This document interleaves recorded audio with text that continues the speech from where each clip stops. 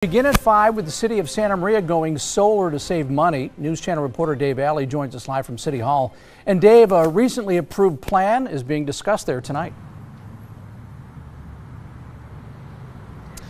Well, that's right, CJ. The plan was actually approved late last year, and right now in council chambers behind me, uh, the council for the uh, the commission, I should say, for the Recreation and Parks uh, Department, they are receiving a plan from the Public Works Department about any potential impacts this solar power project may have on the three park locations that the Recreation and Parks Department oversees here in the city of Santa Maria.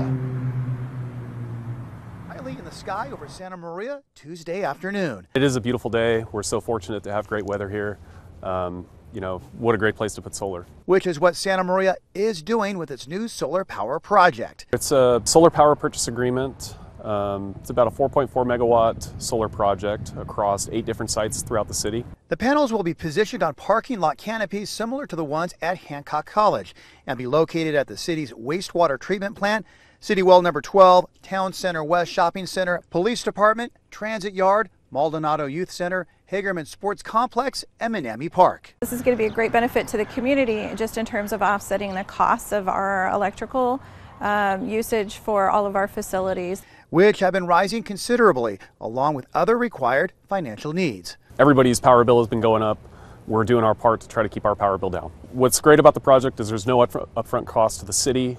Um, it's a power purchase agreement, and so we'll be buying the electricity from the solar provider, and it'll save, we think, at a minimum, $12.8 million over 20 years. Another example of Santa Maria's new Smart City, Safe City mission. We're always looking for win-wins where we have good environmental measures, cost savings measures, and just overall smart business, and that's what the city's looking to do. The project will minimally impact the park sites slated for construction, including here the Abel Maldonado Youth Center, by requiring the removal of a small number of trees to accommodate solar panel installation. For the most part, anything that we um, would need to remove, we're going to reinstall somewhere. Um, so that would be, uh, in terms of removing trees, we would replant trees elsewhere, and and probably in some park or um, public way that that really makes sense, that has uh, more room to grow.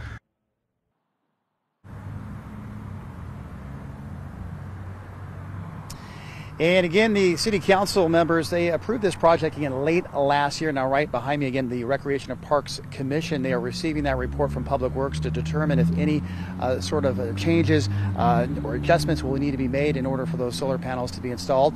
Those solar panels, by the way, will begin uh, to be installed here in Santa Maria sometime later on this year. And the overall project and construction should last a couple of years. Reporting live in Santa Maria, I'm News Channel reporter Dave Alley.